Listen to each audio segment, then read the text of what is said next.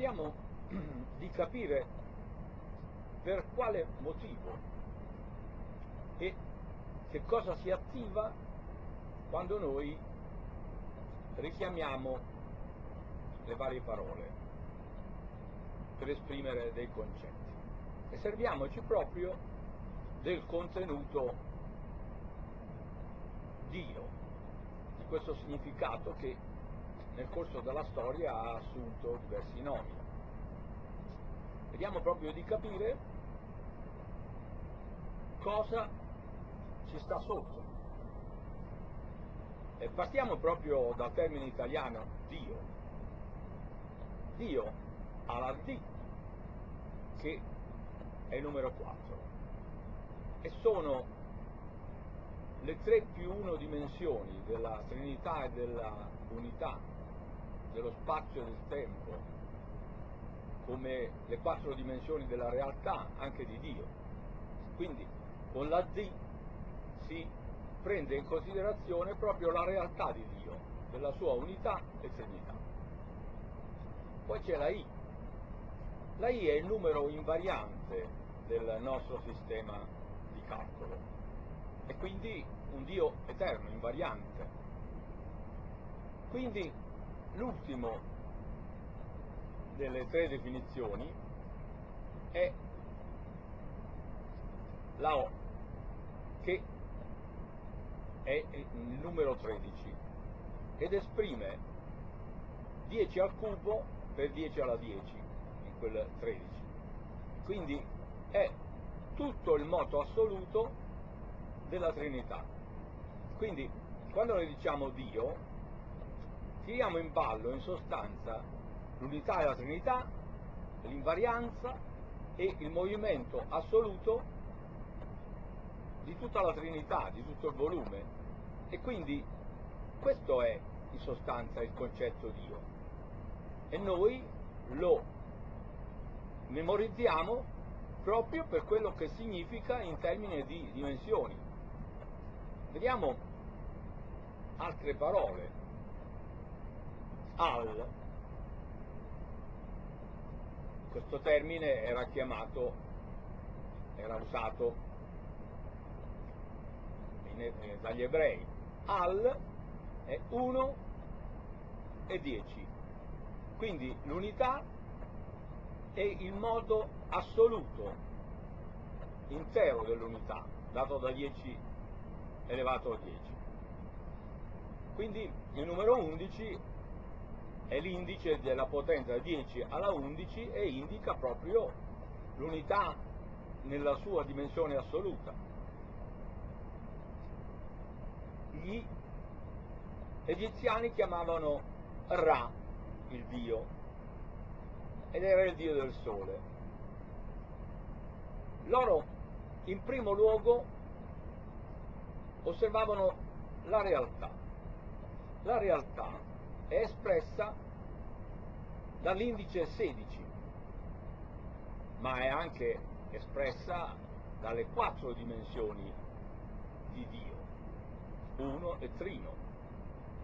Il ciclo intero è determinato da 4 diviso 1 più 4 per 1, ossia da un ciclo che mette uno dopo l'altro i due modi diversi di rapportare la dimensione 4. 4 diviso 4 è il suo opposto 4 per 4, per cui 16 più 1 è 4 per 4 più 4 diviso 4, quindi è il ciclo assoluto dell'unità e trinità. E il termine Ra, che anticipa la R alla pone in ballo prima il ciclo assoluto 4 per, il ciclo reale 4 per 4 e poi gli aggiunge il tempo di una reale presenza. Quindi vediamo che anche Ra ha un grande contenuto espressivo di quello che è Dio, la realtà nella sua unità assoluta. Ele era anche un altro modo con il quale gli ebrei chiamavano Dio. Ele è 5 più 10 più 5, cioè 20, e 20 è un indice, in sostanza è 10 elevato a 10 per 10 elevato a 10. Poiché 10 elevato a 10 è la totalità, è l'unità, è l'assoluto. Qui è l'assoluto che entra in relazione con l'assoluto. E quindi la forma giusta di chiamare Dio Ele pone in primo luogo la E che è il suo contenuto unilaterale della nostra esperienza elettrica o magnetica è 10 alla quinta. Poi teniamo in ballo il movimento assoluto 10 alla 10 in relazione all'unità magnetica. Quella elettrica in relazione a quella magnetica. Quindi vedete benissimo che la forma L che mette in questo ordine a tre dimensioni il numero 20 lo fa richiamandosi a un valore elettrico e un altro magnetico in un ciclo 10 alla 10 assoluto. I musulmani chiamano Dio Allah e vediamo che qui c'è Al e poi il suo inverso, il La. Al l'abbiamo visto è 11, il suo inverso è ancora 11 e quindi abbiamo proprio il ciclo assoluto dal negativo al positivo, bilaterale nel suo complesso. Altro nome, Eli. Eli ricomincia con il ciclo reale, tutto quello elettrico e anche tutto quello materiale. Poi lo moltiplica per il moto assoluto, L, 10 alla 10. E infine per l'invarianza, ossia per una fedeltà. E lì infatti è il Dio fedele, Il termine Buddha, usato nel buddismo, è costruito con 2 più 19 più 4 più 4 più 1 per un 30 totale che vediamo benissimo esprime la Trinità nel suo 10 assoluto. La parola Buddha con la B prima tira in ballo il rapporto binario